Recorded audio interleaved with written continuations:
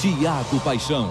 Um jornalista que acredita no seu trabalho. A imprensa, quando não é censurada, tem força, Lúcio. E numa família com os mesmos ideais. Foi o senhor que me educou para acreditar no mundo mais justo. Eu estimulo as pessoas a protestar sempre. Mas ele sonha com um novo envolvimento amoroso. Não sabe o que é mais importante, o Brasil Hã? ou seu amor pela Marina? Ficou maluca, doutora Marcela? Eu sou um homem casado. Se acha, filha, que os comunistas não traem as mulheres? Isso preocupa sua esposa, Lúcia. Uma mulher pode ser mais poderosa do que o ideal político. Sempre aflita com a segurança dos filhos. Promete que você não vai entrar na luta armada. Ela vai ter muito trabalho com sua filha Maria. Eu sinto que sua irmã tem perigo. Uma jovem estudante que não foge à luta. É a nossa chance de fazer uma revolução do bem. Olha, a gente vai para essa guerra, mas é para vencer essa ditadura. De Tiago Santiago, Amor e Revolução.